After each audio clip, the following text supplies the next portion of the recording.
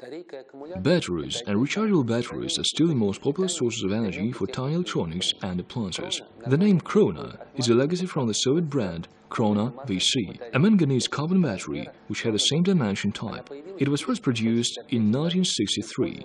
It was used in small transistor receivers. During its long life, it was awarded the State Quality Mark and had an annual issue of about 18 million pieces. This battery is designed in the following way 6F22 for salt batteries and 6LR61 or 6LF22 for alkaline batteries. The battery capacity is 0.5 ampere hours, but its actual capacity, because of self-discharge during storing, is two or three times lower. Internal resistance of the Krona battery is 34 ohm. The Soviet industry produced common salt batteries, as well as alkaline batteries of the same dimension type. Alkaline batteries were more expensive and were named Korund.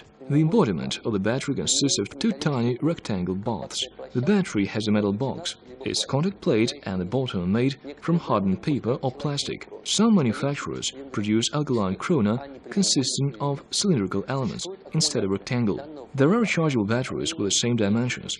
Their body is a bit thinner. The battery nominal voltage is 8.4 volts, but when fully charged they can supply up to 11.5 volts. Such behavior is explained by the nature of nickel metal hydride elements the battery consists of. The batteries of this dimension type are widely used in cameras, audio players, radio control models, MP3 players, remote controls, meters and other devices and appliances.